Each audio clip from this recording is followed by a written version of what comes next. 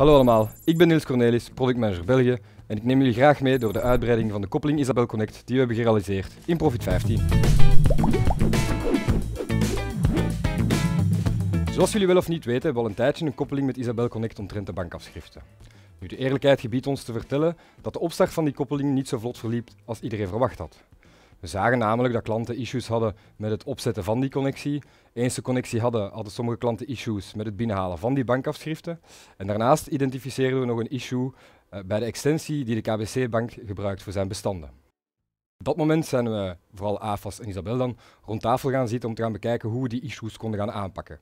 Een aantal issues waren gelinkt aan die opstart en we zijn dan ook samen de klanten gaan contacteren en op dat punt de klanten toch al verder kunnen helpen.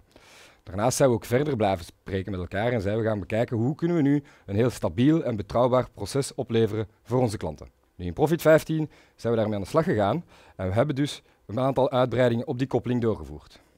In eerste instantie gaan we nu de KBC-bestanden kunnen gebruiken. Isabel heeft de toezegging gedaan om een ontwikkeling te doen die in uh, juli zal uitgeleverd worden. Dus vanaf Profit 15 kan je in de koppeling ook aan de slag met de bestanden van de KBC-bank. Daarnaast hebben we naast de bankafschriften nu ook een uitbreiding richting de betaalbestanden. Dus je kan nu ook de betaalbestanden gaan uh, gebruiken in de koppeling en je kan ook de domicilieringen gaan gebruiken in de koppeling met Isabel Connect. Dit was een korte filmpje omtrent de uitbreidingen in de koppeling Isabel Connect. Ik wou het toch even onder de aandacht brengen omdat we wel wat issues hebben gehad bij de opstart, maar we hebben nu een heel betrouwbaar en stabiel proces. Bedankt voor jullie aandacht en kijk ook zeker alle andere filmpjes op deze website.